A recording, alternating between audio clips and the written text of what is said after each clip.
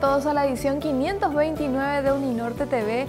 Hoy es sábado 18 de agosto y como siempre estamos listas para compartir con ustedes todas las novedades de nuestra casa de estudios que han transcurrido en la semana. ¿Cómo estás, Belén? Buen día, Katiuska, súper bien. Un gusto compartir contigo y con toda la teleaudiencia.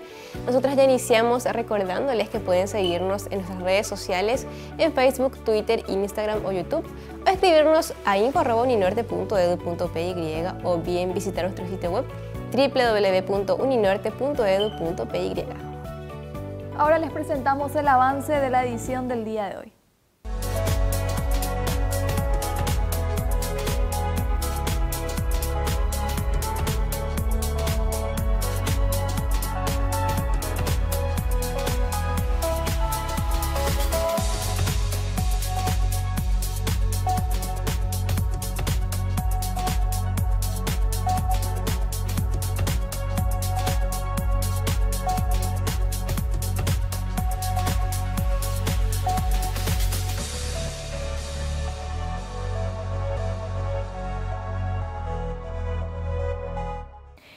2005, Uninorte estrenó la obra Rigoletto. Se trata de una ópera en cuatro actos del compositor italiano Giuseppe Verdi. Este estreno fue en el Teatro del Centro Paraguayo Japonés. Así es, Katiuska, y hoy casi 18 años de aquella grandiosa producción, el Departamento de Extensión Cultural de Uninorte vuelve a apostar a esta gran obra y la reestrena con más de 200 artistas nacionales e internacionales de primer nivel en escena y un gran equipo técnico. En el siguiente material, Lorena Reyes, directora de este importante departamento de nuestra casa de estudios, nos comenta los detalles de esta imponente obra que se presentará este 24, 25 y 26 de agosto. La Ópera de la Universidad del Norte presenta el monumental clásico de Giuseppe Verdi. La donna è mobile, qual piuma al vento. Rigoletto. Estamos con la directora ejecutiva de Extensión Cultural, Lorena Reyes, ¿cómo estás? ¿Cómo estás? Bienvenido. Muchas gracias por el apoyo de siempre. Después de 10 años se vuelve a estrenar la obra Rigoletto. ¿Qué desafíos enfrentaron en esa vez y qué desafíos tienen para este nuevo, para este nuevo estreno? Bueno, eh, habíamos llevado a escena en el año 2005, justamente en septiembre. Son 13 años después. Eh, bueno, siempre llevar una, una, una, obra a escena tiene sus, sus detalles, ¿verdad? Su implicancia y su envergadura. Sea cual fuere la obra, siempre requiere un trabajo técnico muy amplio. Siempre hay desafíos con los cuales uno va... Eh, va, tropezando en el transcurso de toda la preparación que implica una apuesta tan grande, ¿verdad? Eh, en el 2005 habíamos hecho en un teatro más, más chico, eh, la cantidad de artistas era un poco, un poco inferior a lo que hoy proponemos, ¿verdad? Ya con una orquestación más completa. Y eh, por supuesto la preparación de los artistas también siempre es un, un punto preponderante a tener en cuenta porque lleva un lapso de tiempo bastante importante preparar una, una obra en sí. Por más de que ya lo hayamos, eh, la, la, ya hayamos llevado a escena esa obra en el 2005, hoy es otra producción, son otros artistas, otro cuerpo de, de baile, otro cuerpo de, de, de músico, otro equipo de, producción. Entonces, vamos a hacer como si fuese un, estreno nuevamente, ¿entendés? La donna è quale un male vento, muto accento e di pensier.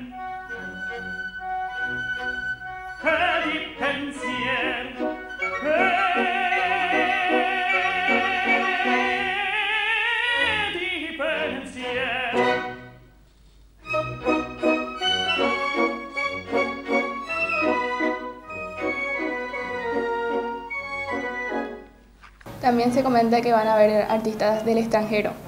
Sí, convocamos para el papel principal de Rigoletto a un barítono argentino que es Ernesto Bauer, un reconocido y talentoso joven que hoy está triunfando en las puestas en escena en su país e internacionalmente también, ¿verdad? Hoy, hoy estamos trayéndolo a Paraguay para que cumpla el rol principal justamente por su destacada voz y por su gran talento. ¿Qué tiene de especial la obra de Rigoletto? Bueno, Rigoletto en principio es una de las 10 obras más representadas eh, de la ópera a nivel internacional, ¿verdad? De Giuseppe Verdi, como lo es también eh, la Traviata, que es la, principal, la, que más se representa eh, en el mundo a lo largo de la historia. Tiene la particularidad de ser un drama, inspirada en la obra teatral El rey se divierte de Víctor Hugo.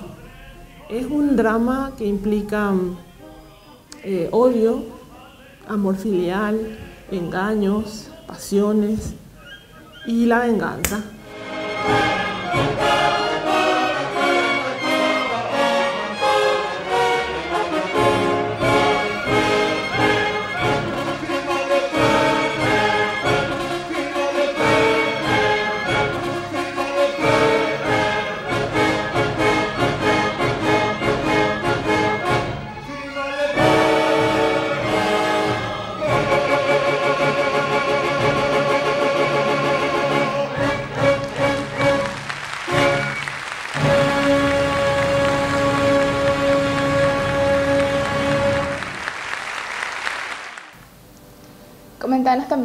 Aparte de esta ópera, ¿qué obras a, lo largo del año se puede disfrutar? ¿Cuántas más o menos? Porque si bien son muchas para tener un panorama de cuántas obras se presentan con Uninorte en el año. Y gracias a Dios tenemos un repertorio riquísimo a lo largo de, del año. Empezamos nuestro calendario cultural en el mes de marzo, concluimos en el mes de noviembre con eh, nuestro ya hoy por hoy tradicional Festival de Música Barroca. También eh, en escena hemos puesto estrenos de ballet como lo fue Romeo y Julieta y la reciente consagración de la primavera que fue para Paraguay eh, grandes logros, fueron grandes logros porque llevar a escena la música de Igor Stravinsky con todo lo que implica su técnica, adaptar la música al baile fue realmente grandioso, o sea, estamos muy satisfechos con lo que hemos logrado a esta etapa, a mitad del, del, año cultural, ¿verdad? Luego de nuestro festival también contemporáneo recientemente, el gran concierto que vamos a contar con la participación de solistas destacados también internacionales y vamos a preparar para el mes de octubre un gran estreno a nivel nacional también, que es una gran sorpresa, ¿verdad? Y así es un, como te digo, es un año bastante movido, continuo, porque de, marzo a noviembre una puesta en escena por mes. Imagínate lo que implica, ¿verdad? Para todo el equipo técnico que trabaja acompañando a los grandes artistas, y grandes y consagrados artistas con que cuentan nuestras tres compañías. Muchísimas gracias por su tiempo. En realidad, eh, yo también quiero agradecerle a ustedes porque siempre forman parte de nuestro equipo de acompañamiento a todas las producciones, ¿verdad? agradecer a la Universidad del Norte que propone eh, este, diríamos, esta catarata de talentos en obras universales y por supuesto al rector, al doctor Juan Manuel Marcos, que es el impulsor, el verdadero Dalí de la cultura en Paraguay. Así que eh, siempre un placer recibirlos en casa y contamos por supuesto con su apoyo siempre. Muchísimas gracias. Eh, les invitamos a participar de la gran puesta en escena de la ópera Rigoletto de Giuseppe Verdi el viernes 24 y sábado 25 a las 20.30 horas y el domingo 26 a las 19 horas. Todas las funciones en el Teatro de Convenciones del Banco Central del Paraguay. Están todos cordialmente invitados. Muchas gracias.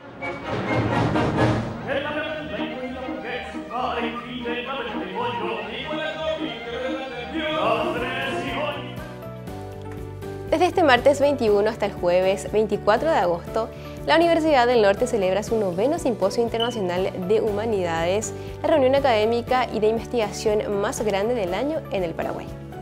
Es así, Belén, y por eso invitamos a todos nuestros televidentes a no perderse de este gran encuentro interdisciplinario, donde 56 grandes conferenciantes de 16 países presentarán sus ponencias sobre las diversas ciencias humanas en el Gran Hotel del Paraguay.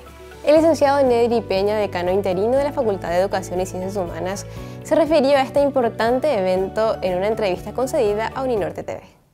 Bueno, la Facultad de Educación y Ciencias Humanas y la Facultad de Posgrado de la Universidad del Norte les invita a este acontecimiento histórico para el Paraguay. El noveno Simposio Internacional de Humanidades es la continuidad de, de este simposio, de este encuentro de intelectuales. Este noveno simposio tiene como lema Escritores sin Fronteras, un encuentro interdisciplinario. En realidad estamos muy felices, porque imagínate, es algo histórico para el Paraguay, para Latinoamérica, para el mundo. Juntar en un promedio de 15 escritores internacionales, 15 celebridades internacionales cada año, es algo que ninguna universidad en Paraguay pudo lograr, salvo la Universidad del Norte. Y eso lo debemos a esa visión que tiene el rector, el profesor doctor Juan Manuel Marcos.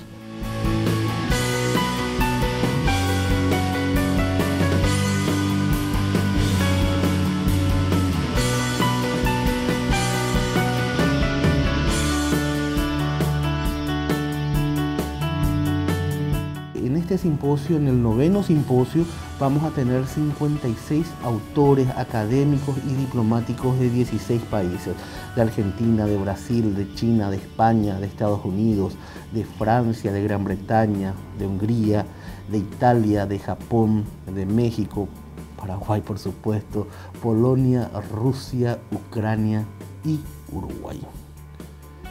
Eh, voy a nombrar algunos de de, de, los académicos y expositores que van a estar aquí.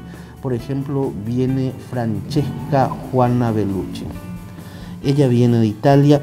Francesca fue la fundadora de la Ópera de Uninorte en el 2003. Luego se mudó a Roma, es más, trabajó con Franco Sefirelli y es una persona con una cultura extraordinaria, hija de italianos, hizo sí gran parte de su colegio aquí en el colegio americano, su formación, creo la ópera. Es más, eh, va a poner un broche de oro en el cierre del Simposio de Humanidades con la ópera de Rigoletto que va a estar también ella como directora escénica. Y, y realmente a mí me embarga una felicidad volver a ver a Francesca después de mucho tiempo. Eh, Francesca también tradujo tanto el invierno de Gunther, poemas y canciones. El invierno de Gunter ya se publicó, se, publicó en Salerno, en Nápoles. Dentro de poco se va a publicar poemas y canciones. Así que una intelectual de, del talento y de la altura de Francesca para nosotros es realmente algo muy, muy emblemático tenerla dentro de este simposio.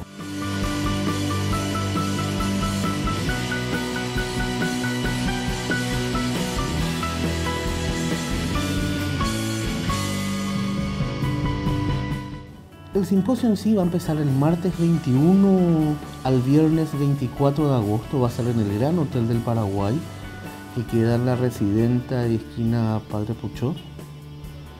También va a estar el profesor Tracy Lewis, que eh, él fue distinguido por el gobierno paraguayo por la Secretaría de Cultura con una medalla de, oro justamente por el aporte Imagínate que un norteamericano traduzca, por ejemplo, el invierno de Gunther, eh, poemas y canciones, lo haga en guaraní, lo haga en inglés. Es algo que uno debe ir, recalcando, esa belleza que, cultural que vamos teniendo. Reiteramos un apoyo a la cultura y el trabajo que vamos a ir realizando, que es realmente una herencia que queremos dejar a los jóvenes estudiantes. Es el encuentro literario, es el encuentro literario más importante del país. Vamos a hacer el cierre con la presentación antes de ir al teatro. Vamos a presentar la edición 7, eh, el número 7 de la revista Discurso Literario, que también fue fundado por el rector, por el doctor Juan Manuel Marcos, la revista Humanidades, donde hay un compendio de artículos de, de personas estudiosas del mundo y algo que a mí me, llena mucho de, de, de, emoción es ver el trabajo científico de varios escritores y de varios compañeros. Así que vamos a presentar eh, discurso literario y a la noche vamos a hacer el gran cierre con Rigoletto.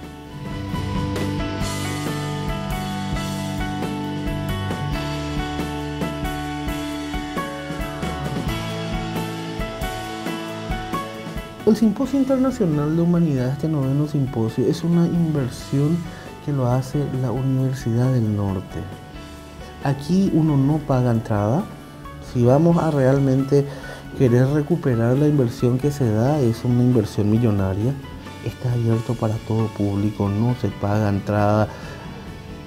Yo invito especialmente, y, y esto va para la gente de educación, aprovechen, van a tener escritores de escritores internacionales, hispanistas. Eh, el encuentro, imagínate tener 56 autores y académicos. Y es gratis. Entonces, la invitación está hecha para todo público. Reitero, empezamos el martes 21 y culmina el viernes 24 de agosto.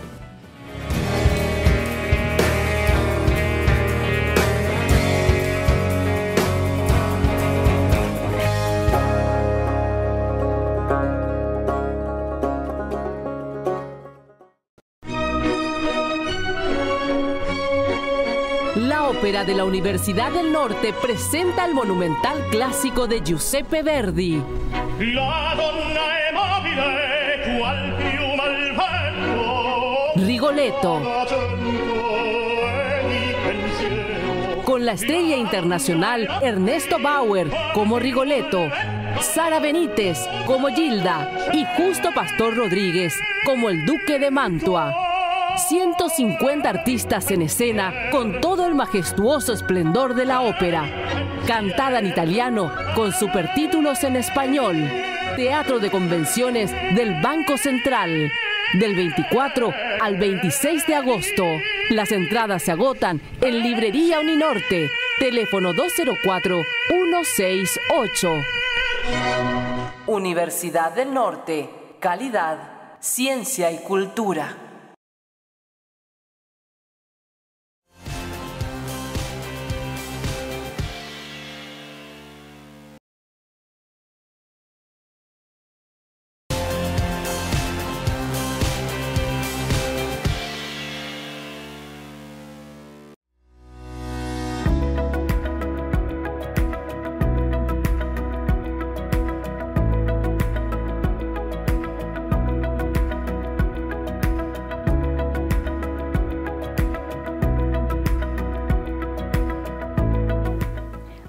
Presentamos a nuestra profesional destacada de la semana.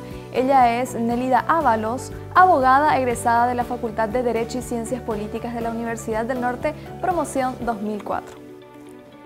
La abogada y escribana Ábalos cuenta con varias especializaciones, entre ellas un diplomado de Relaciones Internacionales y ejerce su profesión de manera independiente en el ámbito civil, penal y niñez. Además, es docente en la Facultad Comunitaria de ITA. Hoy visitamos la ciudad de San Lorenzo, llegamos en la casa de nuestra egresada destacada de la semana, quien es la abogada Nélida Ábalos, con quien vamos a estar conversando sobre su experiencia eh, de lo que fue en épocas de estudios, por supuesto en nuestra casa de estudios que es la Universidad del Norte. Acompáñame a conocerla.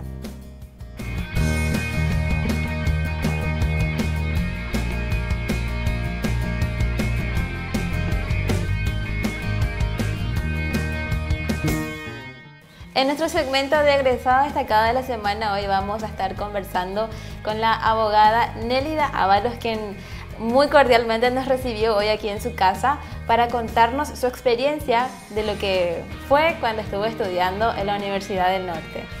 Muy buenos días, muchísimas gracias por, por recibirnos. Y bueno, queríamos saber que, cómo fue en tu época de estudiante, ¿Por qué estudiaste, decidiste estudiar en la Universidad del Norte? Bueno, eh, en mi época de estudiante, como todos sabemos, siempre es la mejor época que uno pasa ¿verdad? por la facultad, no importa la edad que uno tenga, siempre es el, el tiempo más lindo que uno tiene pasar ahí con los compañeros. Eh, elegí en una oportunidad eh, Uninorte porque tuve ya la mala experiencia de haber eh, probado, por decir así, en otras casas de estudio que no viene al caso era mencionar y buscando lógicamente buena, buen nivel académico que tenga una universidad. Eh, en varias oportunidades se me había comentado, ¿verdad? De Uninorte y dije yo, bueno, ya que tanto se me está mencionando, es bueno también por algo ha de ser, ¿verdad? Y es lógico que me fui y experimenté yo misma. Eh, primeramente me fui en forma, por decirlo así, como oyente. Eh, recuerdo esa Probando, ¿verdad? vamos a ver si me gusta. Sí, exactamente. Eh, probando, ¿verdad? Y entonces todavía no pasaron ni una semana que yo estuve probando supuestamente. Y entonces al final yo me quedé, me quedé y era una promoción muy eh, muy dinámica y muy buena en aquel entonces. ¿Por qué? Porque aparte de que uno se recibía del título de, abogada, también adquiría el título de eh, licenciada en ciencias políticas, eh, por ejemplo, también, ¿cómo se llama? Notariado. Notariado público. Y diplomado en relaciones internacionales. Y más que nada yo me fui primeramente ahora por la carrera de Derecho, porque ah. siempre quise obtener el título de abogada, que es lo que siempre me caracterizaba según la gente que me, me conoce, ¿verdad? De que eh, mi carácter da como para que... Para, ser abogada. Para ser abogada. Ah. Y entonces ese fue el motivo por el cual yo eh, me fui a la facultad, a la Universidad del Norte, y terminé ahí en la parte de abogacía y después ya me quedé para el posgrado en la parte de lo que es didáctica superior universitaria. Entiendo. Y eh, en ese entonces, bueno, ¿qué recordás de tus docentes? De los docentes que... me marcaron mucho, sinceramente, los docentes de, lo que nosotros tuvimos, porque eh, siempre nos em, inculcaban mucho respeto, mucha responsabilidad y por sobre todas las cosas, ser honesto, que lastimosamente hoy en día se está perdiendo un valor muy importante en nuestra sociedad actual y la responsabilidad por ante, ante, que nada, ¿verdad? Porque lo, más importante para mí que es ser responsable, mm, ser respetuoso, es, lo que siempre también se caracterizó, siempre la Uninorte, por, la, por el respeto que hubo siempre tanto hacia los alumnos como al, también con la experiencia que tengo actualmente como catedrático, ¿verdad? Y comentanos un poco eh, todos estos valores que vos adquiriste en tu momento de estudiante. También seguramente es algo que vos eh, tratás de inculcar nuevamente a tus alumnos, porque tengo entendido que, también enseñás en la Facultad de Uninorte, pero en la eh, filial de Itávero. Sí. ¿Cómo es esa experiencia? Ay, esa experiencia sí que es más que más que, no sé, eh, una experiencia única realmente de poder llegar a estar también en la misma casa de estudio donde uno recibió tantos, eh, tantas enseñanzas y tratar de, de, volver a inculcar todo lo que uno se fue aprendiendo durante tantos tiempos ahí en esa casa de estudio. Y lógico que uno lo que trata es de, al menos yo de mi punto de vista, que muchas veces, a veces incluso caigo un poco de pesada, pero trato de mantener esa línea de respeto y de responsabilidad y inculcarle más que nada valores a los jóvenes. Y siempre estoy insistiendo mucho en que tengan todavía ese hábito de la lectura que en la actualidad casi se está perdiendo.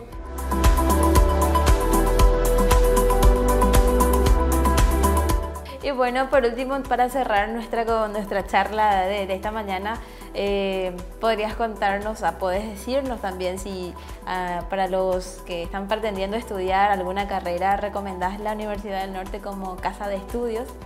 Sí, recomiendo la Universidad del Norte porque es, desde mi punto de vista, es una institución bastante eh, responsable, es muy, de un nivel muy prestigioso eh, se ganó su puesto, por decirlo así, dentro de nuestra sociedad y yo creo que no tiene ningún solo reparo en la, actualidad como para competir a nivel, incluso con algunas universidades a nivel internacional por la calidad de lo que se está teniendo en la actualidad en cuanto al plantel de profesionales que están al frente y están a cargo. Es muy reconocido la universidad. Eh, para mí es sinceramente un honor incluso de repente estar en el plantel también de, de profesionales docentes mm. dentro de la institución.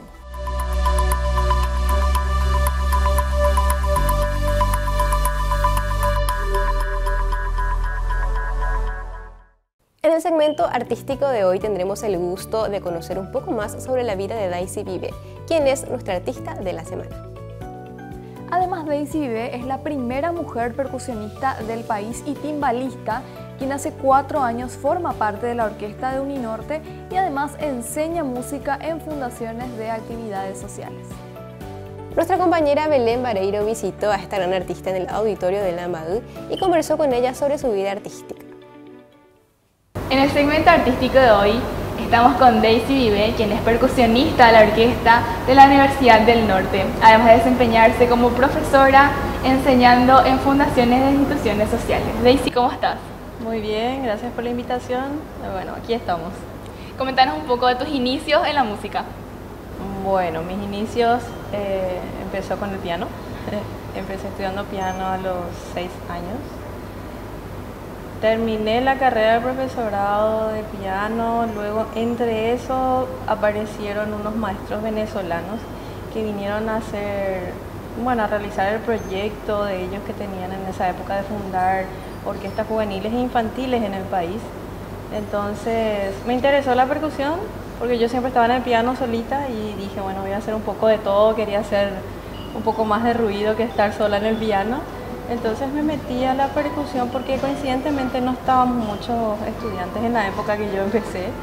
Entonces eh, me llama un profesor de percusión, el venezolano justamente que vino para este proyecto y me dice, ¿estás interesada? Me dice, bueno, le digo yo, entonces empecé directamente con los timbales, tenemos acá atrás.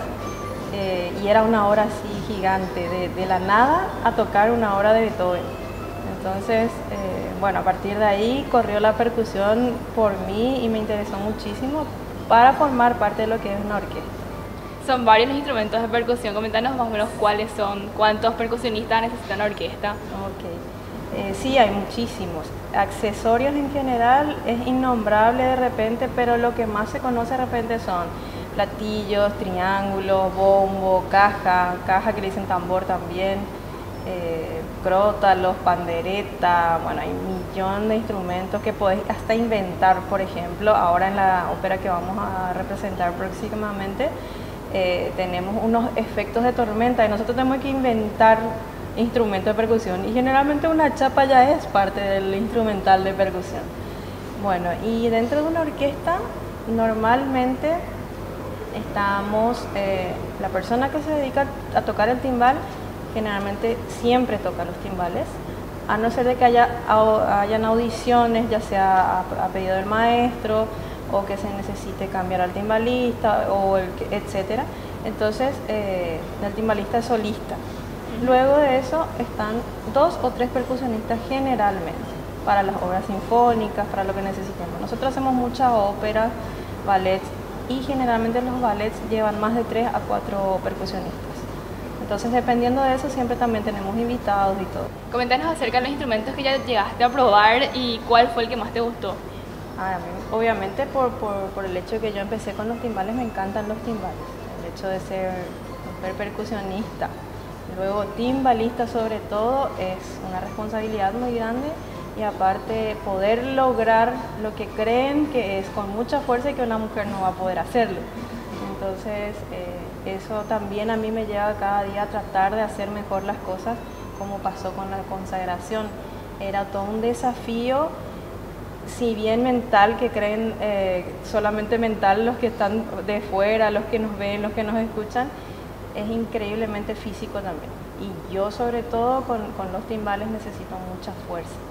Entonces eh, conlleva un aspecto así de que, bueno, tengo que hacer un poco de pesa tal vez, tengo que, hago o no hago, bueno, ya está, pero debería, o sea, es, un esfuerzo, obviamente, ¿verdad?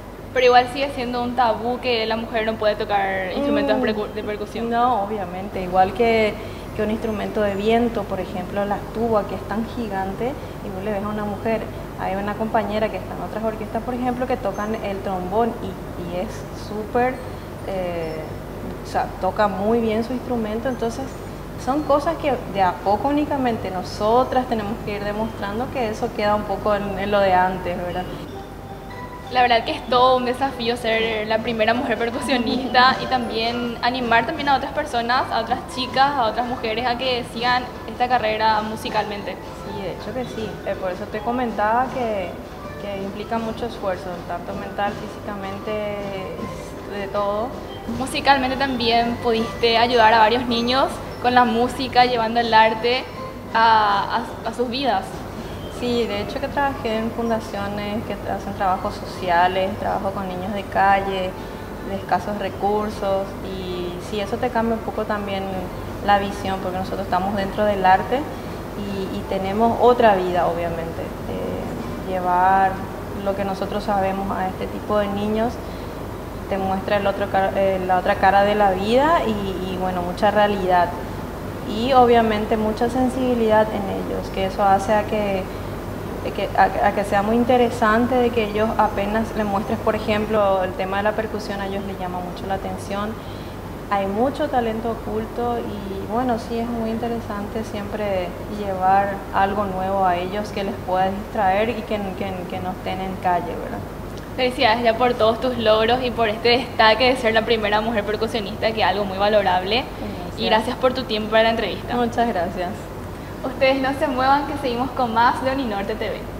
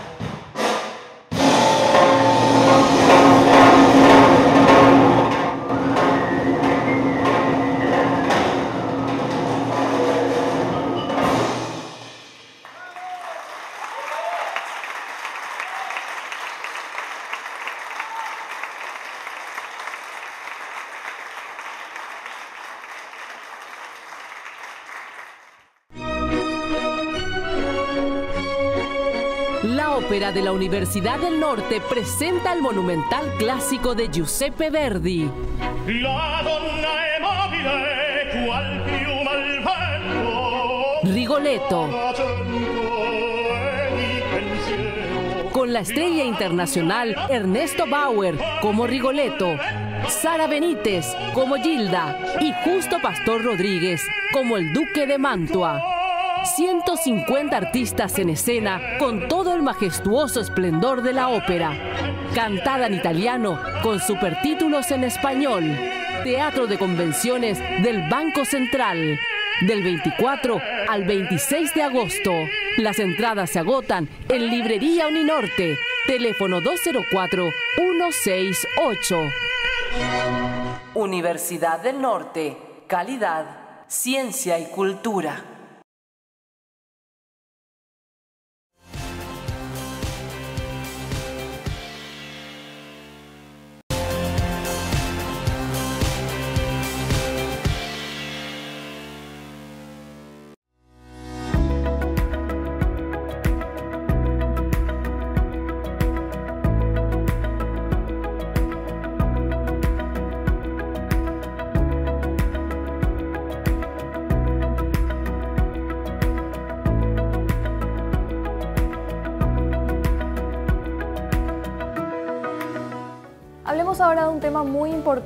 Porque las enfermedades cardiovasculares son una serie de desórdenes que afectan el corazón y los vasos sanguíneos.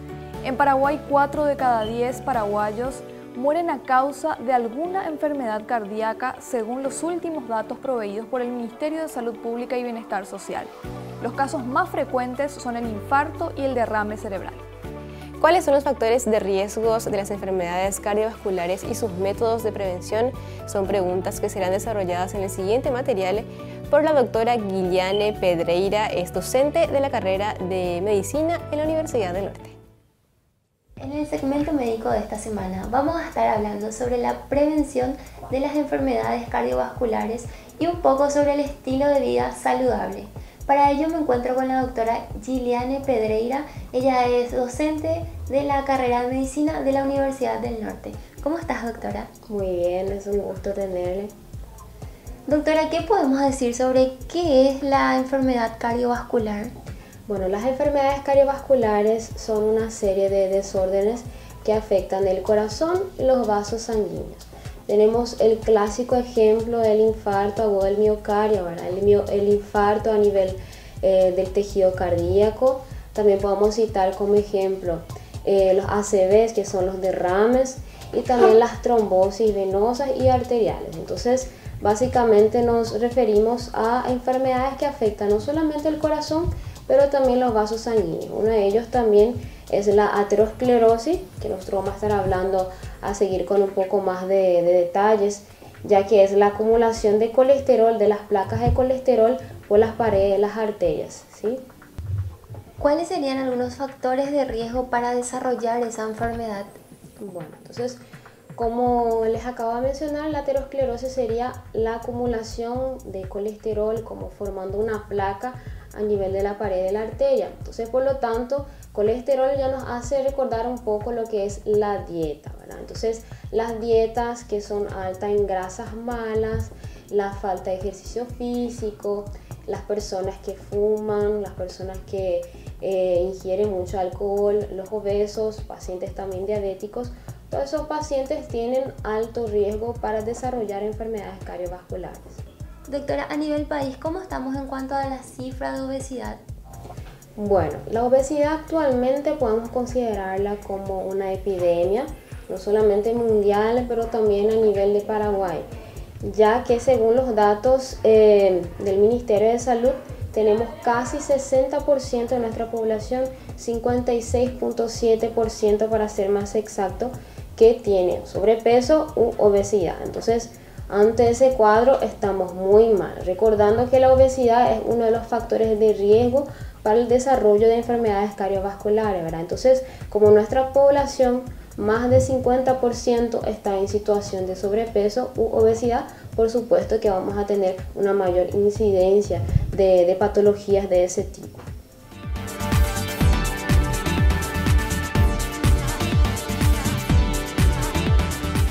¿Cuáles son los síntomas comunes de las enfermedades cardiovasculares? Bueno, teniendo en cuenta el infarto agudo de miocardio como una de las, de las enfermedades cardiovasculares más graves, podríamos tener como síntomas el dolor intenso de pecho, generalmente un dolor que la, la región del epigastrio, como suelen llamar los médicos, que sería el, eh, el dolor acá a nivel del esternón.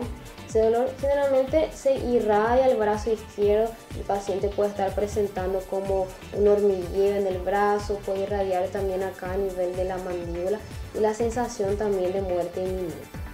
Otro tipo de enfermedad cardiovascular también tenemos el ACV, el derrame. Entonces ahí el paciente puede llegar a tener desmayos, sobre todo debilidad de alguno de los miembros, de un lado de su cuerpo. El paciente también puede llegar a presentar dificultad para articular las palabras, pérdida de la conciencia, entre otros síntomas. Entonces hablando eh, objetivamente y claramente de las dos enfermedades más comunes cardiovasculares que sería el infarto o el miocardio y también el derrame cerebral.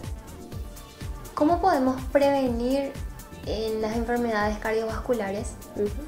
Entonces, teniendo en cuenta los factores de riesgo que nosotros mencionamos anteriormente, deberíamos de tratar de tener una dieta saludable. ¿Qué significa eso? Tratando de eh, incluir en nuestra alimentación por lo menos en cinco momentos del día frutas o verduras. Cinco porciones de frutas o verduras por día.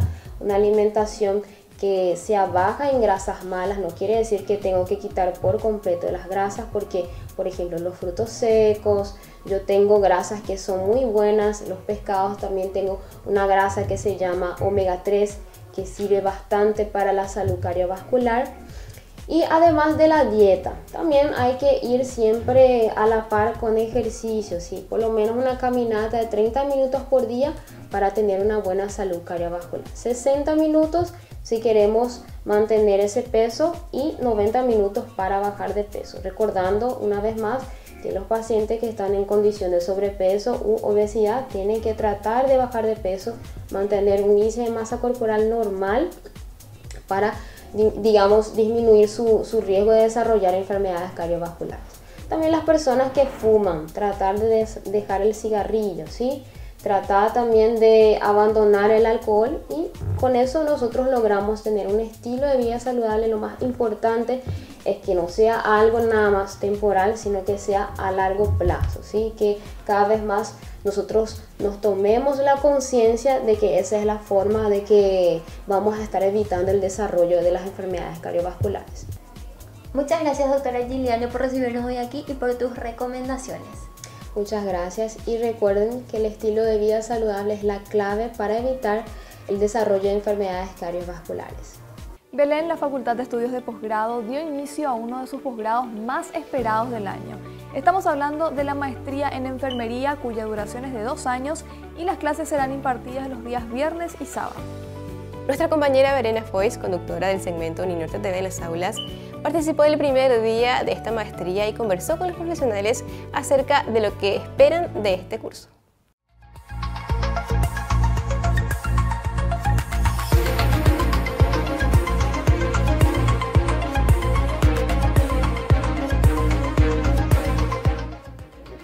Nos encontramos con la vicedecana de la Facultad de Posgrado de la Universidad del Norte, la doctora Teresa del Pilar Ríos. ¿Cómo estás, profe? ¿Podrías comentarnos acerca de esta maestría de enfermería, por favor? Sí, justamente hoy dimos la apertura de, de, dos maestrías, la maestría en enfermería y la maestría en fisioterapia. Quiero acotar que la maestría en fisioterapia es la única maestría del Paraguay y la primera y curiosamente, hoy hemos habilitado la segunda promoción y hemos colapsado en cantidad de alumnos. Hemos esperado unos 30, 35, pero ahora tenemos 40 y tenemos una gran cantidad en lista de espera. Vamos a tener que abrir una segunda sección porque esto es absolutamente novedoso y halagador, por supuesto, prometedor. Nos encontramos con el licenciado en enfermería, Pedro Cristaldo. ¿Cómo estás, Pedro? ¿Podrías decirme ¿Por qué elegiste Uninorte como facultad de estudios? Está en el tercer puesto a nivel salud en cuanto a educación es muy buena. También tuve experiencia, digamos, como que eh, mi señora es docente y aparte el entorno, la mayoría del entorno ha estudiado en esta prestigiosa casa de estudios. Entonces por eso decidí optar. Es mi primer curso en esta universidad. Nos encontramos con la licenciada Silvia Olazar. Ella es eh, licenciada en enfermería. ¿Cómo estás? Eh, buenas tardes, buenas noches ya hasta ahora. Muy bien. aquí iniciando la maestría en enfermería en la Uninorte. ¿Por qué elegiste eh, seguir esta maestría? Bueno, antes que nada, esta, esta maestría en enfermería es la segunda promoción que se está lanzando a nivel país. La maestría eh, en enfermería, como les dije, es la segunda. Las otras son maestrías con énfasis en. Esta es eh, generalmente, generalizada en enfermería. Y me pareció un lindo desafío eh, a nivel profesional, una linda experiencia y un lindo reto que quise agarrar de manera personal eh, para luego enaltecer a la profesión. Eh, la enfermería es una profesión que eh, no tiene demasiada repercusión, ¿verdad? Entonces, este tipo de maestrías es lo que nos va a llevar a enaltecer nuestra profesión. Y me gustó, me gustó los módulos que estaban presentando y de esa manera quise agarrar este reto, como te dije anteriormente.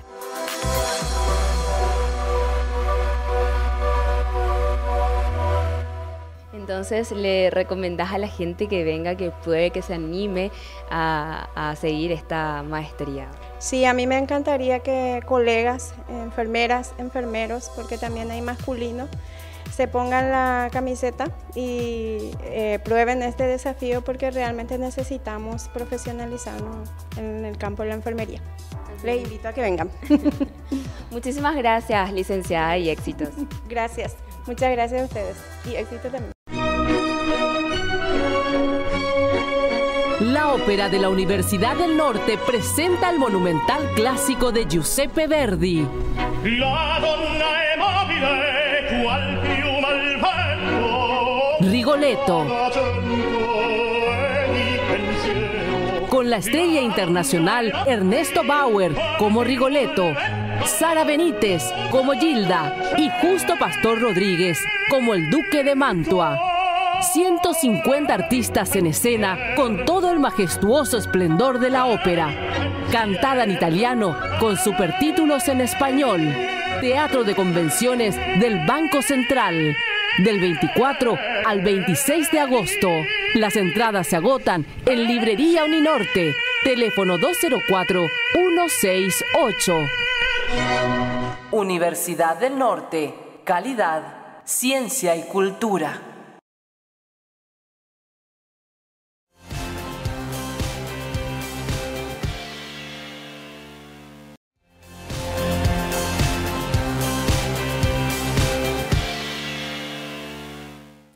Llegó el momento de agradecer a las marcas que nos acompañan para cada programa.